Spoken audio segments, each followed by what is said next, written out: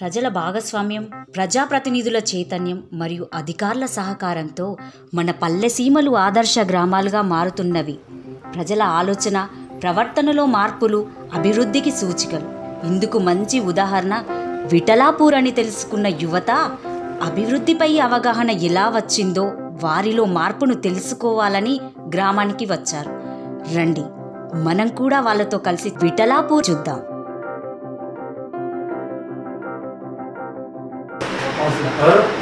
Sir. Campus village development గురించి ఎలా ఇంప్రూవేషన్ చేస్తున్నారు ఎలా డెవలప్ చేస్తున్నారో తెలుసుకొని ప్రాజెక్ట్ వర్క్ ఫైల్ చేయాల్సి ఉంటుంది సార్. సో అందుకని మీ విలేజ్ని సెలెక్ట్ చేసుకున్నాం సార్. మా గ్రామ పంచాయతీ ఒకప్పుడు మా గ్రామంలో ఇంటి ముంగట ఉన్న చెత్త ఇంటి ముంగటే ఉండేది ఎవరు కానీ పరిశుభ్రంగా ఉంచుకునేవాళ్ళు కాదు. అయితే ఈ కొత్త పాలకవర్గం మేము వచ్చిన వెంటనే ఫస్ట్ గ్రామాన్ని పరిశుభ్రంగా ఉంచాలని ఒక నినాదం పెట్టుకున్నాం. అలాగే మన ప్లాస్టిక్ వస్తువులను కూడా వాడకం నిషేధిస్తే గ్రామం ఆటోమేటిక్గా పరిశుభ్రంగా తయారైందని ఒక ఆలోచన వచ్చినాం. అదే విధానంలో ఏం జరిగిందంటే ఫస్ట్ ముందుగా పరిశుభ్రత మీద కాన్సన్ట్రేషన్ చేసినాం. వాళ్ళకు వాళ్ళు ముందు రావాలంటే పాలకవర్గం సభ్యులు సర్పంచ్ వార్డు మెంబర్ల ముందుకు వచ్చినట్లయితే చైతన్యం పెరిగి అంటే వాళ్ళే అధికారం నుండి వాళ్ళు చేస్తున్నారు. మేమేందుకు చేయాలనే విధానంతో వస్తారని మేమే కట్టాపార తీసుకొని మొదలు మొదలు పెడితే వాళ్ళు వెంటనే ప్రజలు కూడా దానిలో భాగస్వామ్యమై మీతో పాటు మేము కూడా చేస్తామని మొదలుపెట్టారు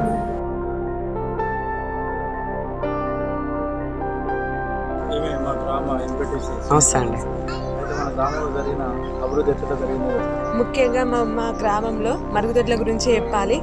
ఐదారు సంవత్సరాల కింద మల విసర్జనలు బయట పోవడం వల్ల చాలా ఇబ్బందికరంగా ఉండే. ఇంటింటికి స్వచ్ఛ భారత్ చేపట్టి మరుగుదొడ్ల పైన ఒక తీర్మానం తీసుకొని మరుగుదొడ్లు నిర్మాణం చేయడం అనేది జరిగింది. మా మహిళలకు సౌకర్యంగా ఉంటుంది.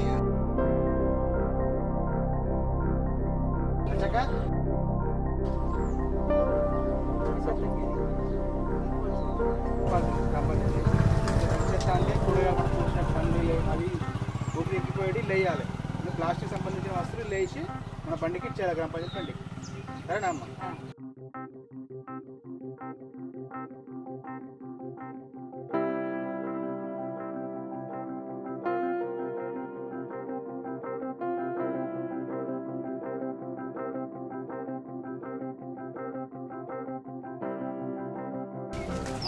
మా గ్రామంలో దాదాపుగా హరితహారంలో భాగంగా పదివేల చెట్లను పెంచడం జరుగుతుంది.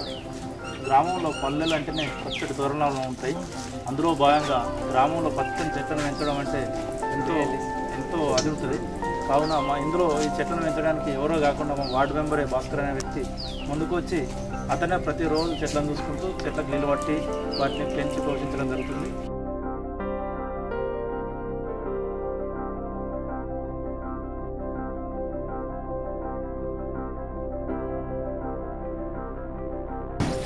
స్వచ్ఛ భారత్ మరియు అలాగే పలే ప్రగతి ప్రోగ్రాంలో భాగంగా ప్రతి ఒక్క గ్రామానికి డంప్ షెడ్ నిర్మించడం జరిగింది. దానిలో భాగంగా మన విట్లాపూర్ గ్రామంలో కూడా డంప్ షెడ్ నిర్మించడం జరిగింది.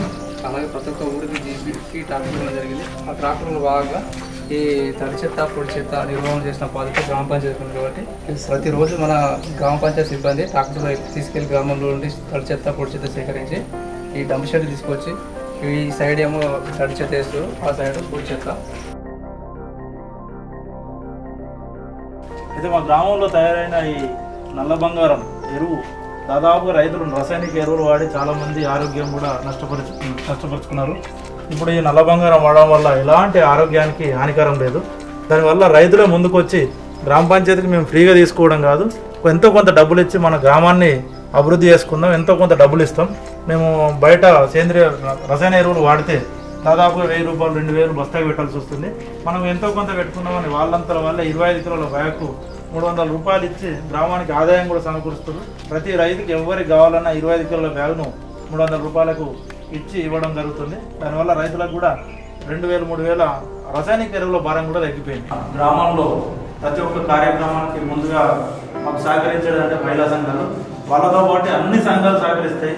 అన్ని కుల సంఘాలు ముందుకు వస్తాయి యువజన విద్యార్థులు కూడా ముందుకు వస్తారు చదువుకున్న వాళ్ళు మా బయట చదువుకున్న ఎంప్లాయీస్ కూడా ప్రతి ఒక్కటి నిత్యం మా సఫాయి కార్మికులు కూడా ఎంతో ప్రతిరోజు ఊడవడం కానీ మోరీలు తీయడం కానీ వార్డు మెంబర్లు కానీ ఎవ్వరు కానీ ఈ సహకారాన్ని అందించినందుకు వాళ్ళకి ఎంతో ధన్యవాదాలు. ఈ యొక్క విషయాన్ని సభాముఖంగా నాకు తెలియజేసుకున్నందుకు అవకాశం ఇచ్చినందుకు మీకు మా మహిళలకు కూడా నమస్కరిస్తున్నాను.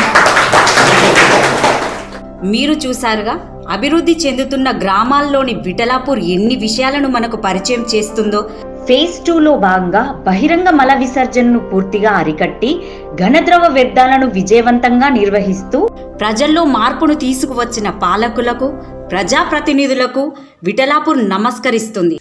మన పల్లెల్ని కూడా స్వచ్ఛత వైపు అడుగులు వేయిద్దాం పదండి.